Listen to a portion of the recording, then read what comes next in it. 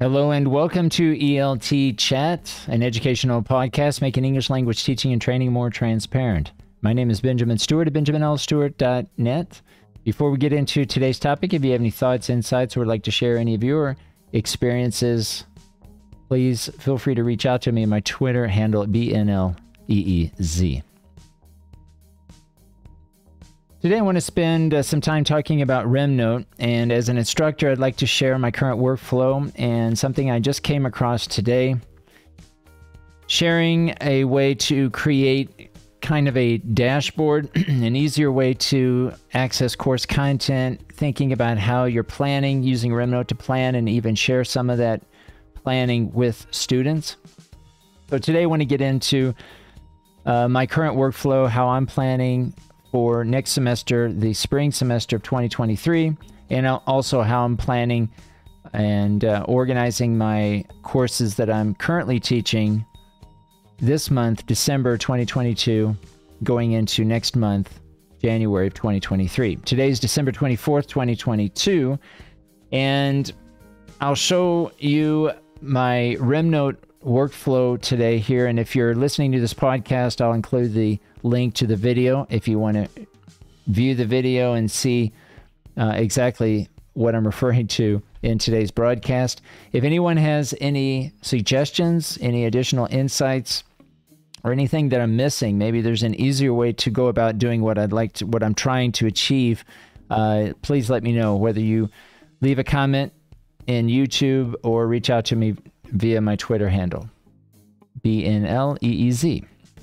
All right, so I'm gonna open up here my my RemNote and show you what I how I've currently set up, how I currently have my courses organized.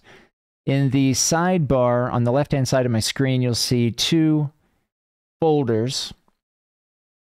And I'm going to refer to these folders as dashboards. I have one dashboard called Spring 2023 semester, and I have a second dashboard that's called December 2022 to January 2023.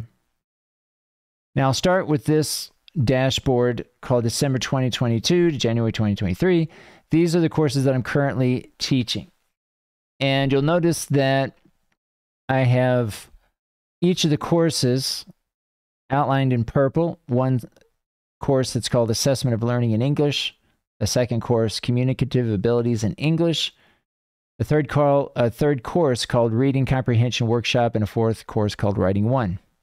Now, underneath each of these courses, you'll notice if you're familiar with RemNote, you can open and collapse or expand and collapse information within each of these.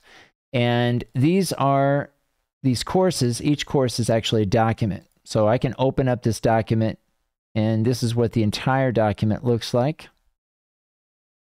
And these are basically what I'm referring to as syllabus pages. These are documents or REMS that include typically information that you would find in a syllabus. So going back to the dashboard, you'll notice that I don't have the entire information or the entire document, the content of that document in each of these or under each of these headings. I just have learning sequence.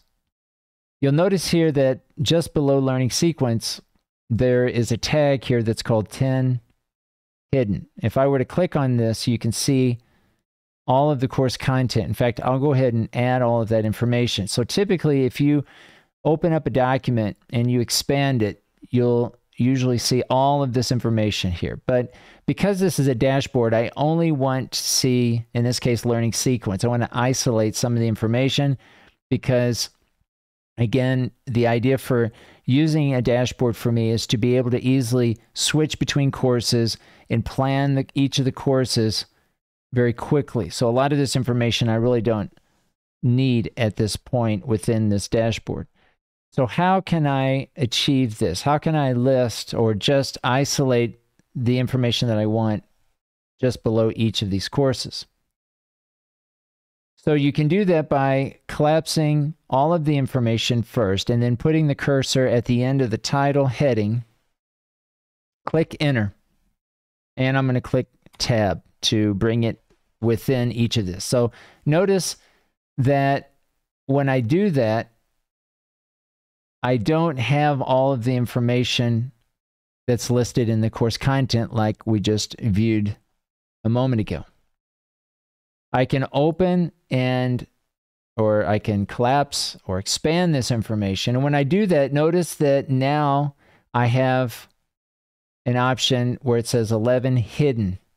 If I click here, now it shows all of the course content. It's basically hiding the information and asking you what information you want to include. Again, I can select all if I wish, but in this case, I just want to show learning sequence.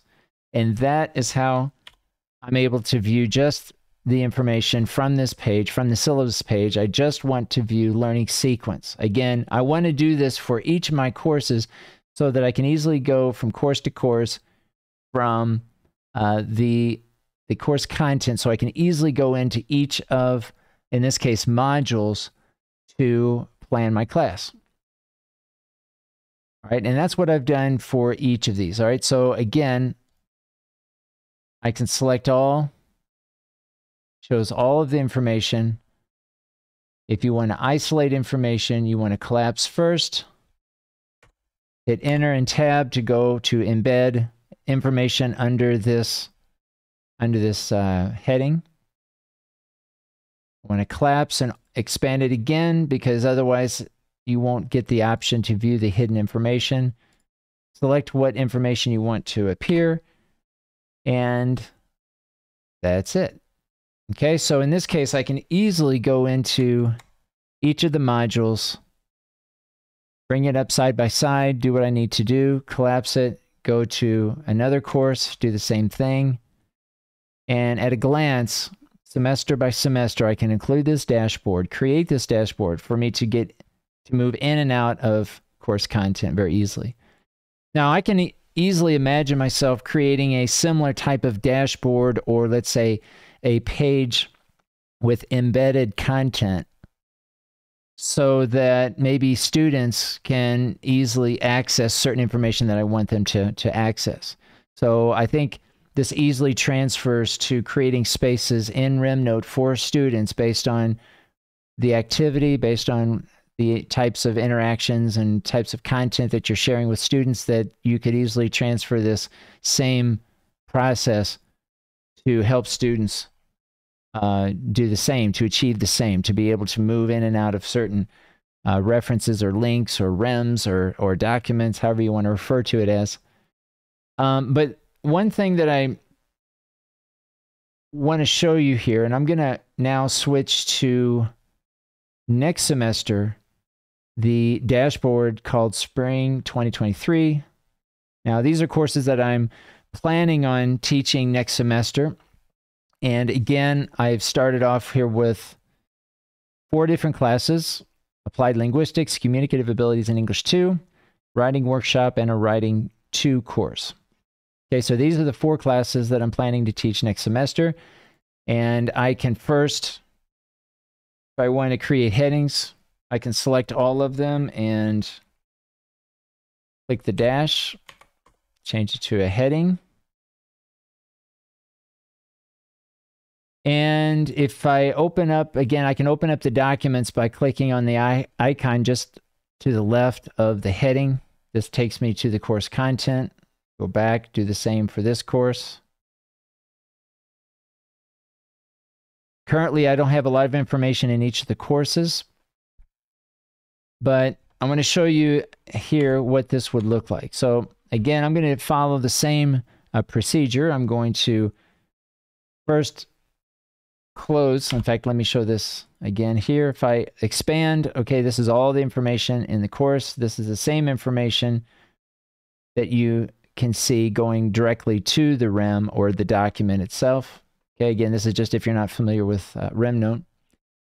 And so now I want to just focus on certain a certain section of the syllabus. So I'm going to do the same. I'm going to put the cursor at the end of the title, click enter, tab, and it, the hidden option doesn't appear until I close and then expand again the, the heading. Now I have an option here. Now this looks a little bit different because I'm using a different template. I'm going to use or I'm going to view content calendar. This is what I'm going to be using. And currently there's nothing in content calendar, but you'll notice that it was inserted, the heading was inserted into the page. Now I can go back to the page itself. This is the original document, and I can open up, course, uh, the content calendar. Notice there's nothing here. So let's look at these side by side. So I'm going to pull up the document side by side. And this is what I'd like to show you. And this is going to work in any kind of dashboard that you have set up the way that I've explained it here. Let's say that I go to the syllabus page and I go to content calendar.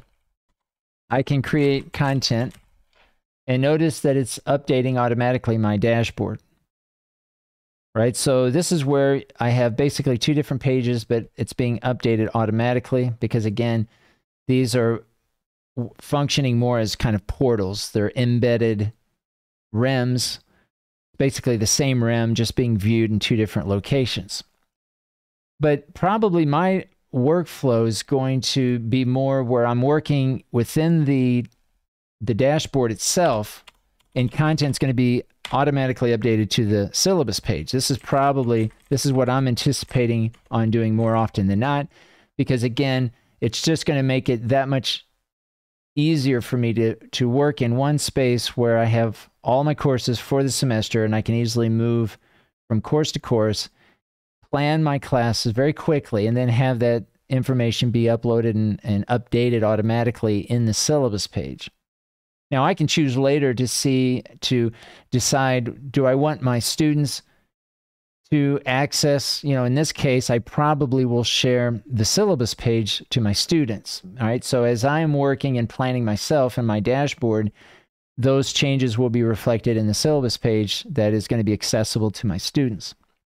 And so, again, you can probably see how this will play out in a lot of different scenarios where you're deciding on what kind of workflow works best for you within RemNote, and then also what kind of information is being published to students or maybe even to the public to see to have a little bit more control on what you want your audience or your students to see versus what you want to see within your own workflow. And this is what I'd like to share with you here today this tip on how you can use kind of a, a dashboard setup to draw this comparison between your internal workflow as an instructor in this case, which is my context, and also the published content, what you want to share with others, whether it's your students, whether it's uh, to the public at large. And I think this is currently uh, the best way that I found so far to be able to set up this kind of workflow. So I wanted to share this with you here today. And I hope this helps. If you are an instructor, a trainer, a teacher, if you're using RemNote, you have a better way of achieving something similar as what I've shared here today. Feel free to uh, reach out to me. I'm, I'm certainly always open to finding new ways of uh, using RemNote and finding ways to kind of streamline my process as, as an instructor. So if you do have any thoughts, if you have any insights, if you have any experiences with RemNote, you want to share, uh, feel free to reach out to me on my Twitter handle at BNLEEZ. This has been ELT Chat, an educational podcast making English language teaching and learning more transparent. Thanks for listening.